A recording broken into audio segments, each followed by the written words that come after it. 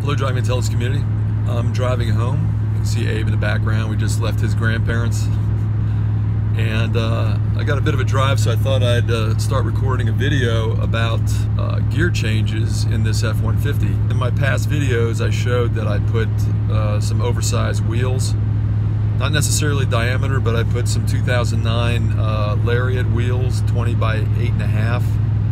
And these suckers are heavy. Um, and then I put uh, 275, 55, 20 tires on it.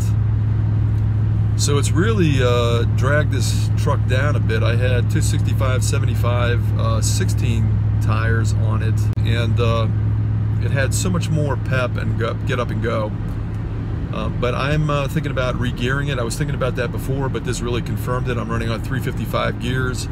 Done a lot of research. I don't think 373s are enough of a difference to really get me to make a change. I'm strongly considering 410 gears in the rear end. Anyway, I'm going to explain to you why I feel this way, and uh, maybe I can get some comments from a lot of you. If any of you have done gear changes in the past, um, going from 355 373 is a waste of money and time, I think.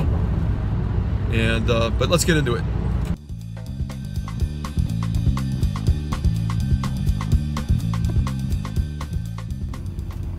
You can see I'm measuring different engine parameters, and that top left percentage is engine load.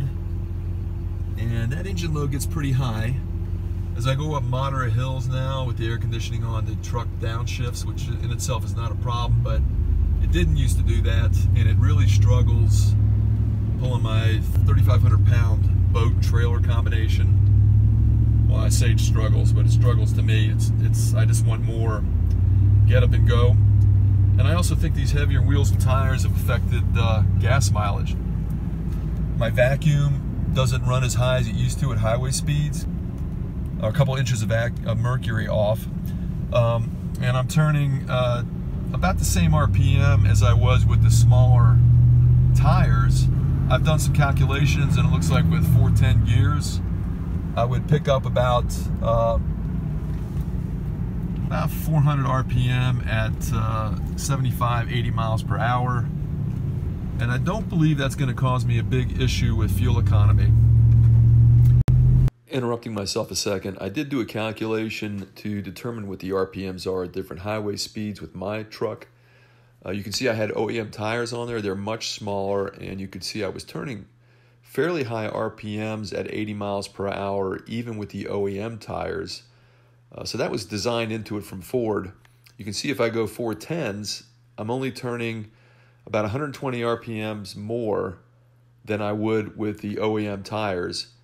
And uh, with my current setup, I'd be turning about 330 RPMs more. So it's not a significant difference. I will see a reduction in engine load and I will see a reduction in the amount of throttle I have to input to uh, either accelerate or keep the truck moving. So uh, this is why I think I will not only maintain fuel economy, but I will probably increase it a bit, especially since I've added the heavier Lariat wheels.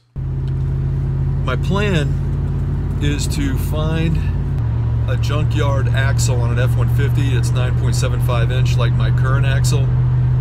Uh, I wanted to have a limited slip. My current 355 does not have limited slip. I don't care if I find a 355 or 373 because I plan on rebuilding the axle out of the vehicle, putting 410 gears in it, and uh, rebuilding the limited slip, and then installing and swapping it out in my vehicle, just getting the 355 out of there, and uh, hopefully that makes a big difference. Given I've got a 4x4, I got to find an 8.8 inch front uh, to rebuild or rebuild my own with 410s but I want to see how it runs uh, before I go ahead and do that axle swap in the front. So again, I'm, uh, I'm interested in what you've got to say about it. Um, what I'm really concerned about, I know I'll get better power, but have you noticed a huge reduction in fuel economy?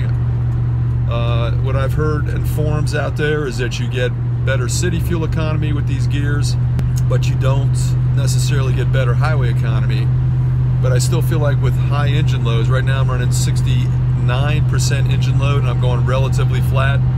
I figure if I lower the engine load slightly with a, uh, a shorter gear, should put less stress on the engine, and I get better fuel economy.